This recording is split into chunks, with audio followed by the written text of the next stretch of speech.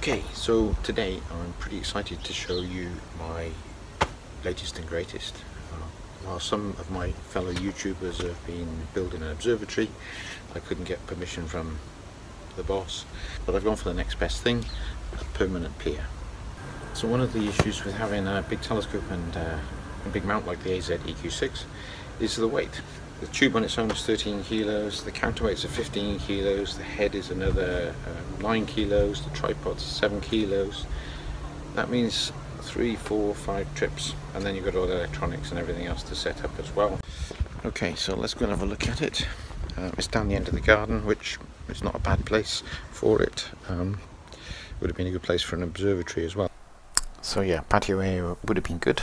Uh, nice view off to the east and south and here's the, uh, the pier. It's a uh, reinforced drainage pipe filled with concrete and uh, right into the ground with reinforcing rods as well.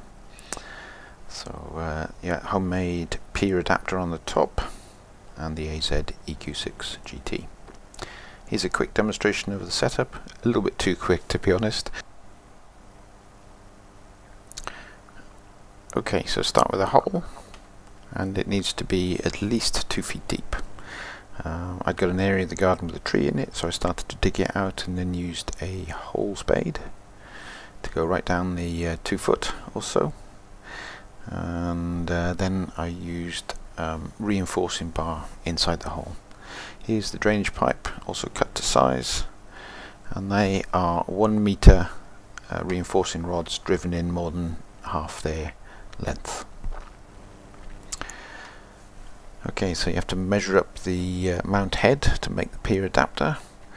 Lots of measurements, um, make a drawing up, and then have a brother-in-law with a workshop that can turn out some nice bits of aluminium.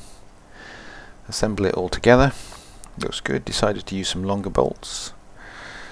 Then uh, some stuff to calculate how much cement and concrete I would need.